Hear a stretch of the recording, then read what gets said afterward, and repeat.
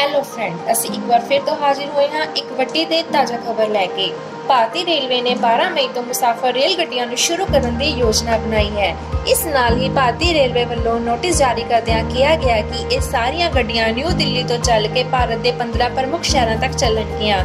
15 ਪ੍ਰਮੁੱਖ ਸ਼ਹਿਰ ਜਿਵੇਂ ਕਿ ਡਿਬਰੂਗੜ੍ਹ ਅਗਰਤਲਾ, ਹਾਵੜਾ, ਪਟਨਾ, ਬਿਲਾਸਪੁਰ, ਰਾਂਚੀ, ਭੁਵਨੇਸ਼ਵਰ, ਸਿਕੰਦਰਾਬਾਦ, ਬੈਂਗਲੁਰੂ ਚੇਨਈ, ਤ੍ਰਿਵੰਤਾਪੁਰਮ ਬਾਦਗਾਂਵ ਮੁੰਬਈ ਸੈਂਟਰਲ, ਅਹਮਦਾਬਾਦ ਅਤੇ ਜੰਮੂ ਤਵੀ ਨਾਲ ਹੀ ਇਹ ਜਾਣਕਾਰੀ ਮਿਲੀ ਹੈ ਕਿ ਇਨ੍ਹਾਂ 15 ਪ੍ਰਮੁੱਖ ਸ਼ਹਿਰਾਂ ਲਈ ਕੁੱਲ 30 ਟ੍ਰੇਨਾਂ ਚਲਾਈਆਂ ਜਾਣਗੀਆਂ।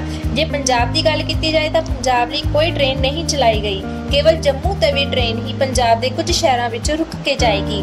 ਇੱਕ ਜਾਣਕਾਰੀ ਅਨੁਸਾਰ ਇਹਨਾਂ ਟ੍ਰੇਨਾਂ ਦੀ ਰਿਜ਼ਰਵੇਸ਼ਨ ਬੁਕਿੰਗ 11 ਮਈ ਸ਼ਾਮ 4 ਵਜੇ ਸ਼ੁਰੂ ਹੋਵੇਗੀ ਅਤੇ ਇਹ ਭਾਰਤੀ ਰੇਲਵੇ ਦੀ ਅਫੀਸ਼ੀਅਲ ਵੈਬਸਾਈਟ ਤੇ IRCTC ਤੇ ਉਪਲਬਧ ਹੋਵੇਗੀ। ਰੇਲਵੇ ਦੇ ਇਸ ਕਦਮ ਨਾਲ ਲੋਕਡਾਊਨ ਖੁੱਲਣ ਦੀ ਆਸ਼ਾ ਨਜ਼ਰ ਆ ਰਹੀ ਹੈ। ਬਿਊਰੋ ਰਿਪੋਰਟ ਰੈਬਰ ਪਾਟਿਆ, ਪੰਜਾਬੀ ਲਾਈਵ ਨਿਊਜ਼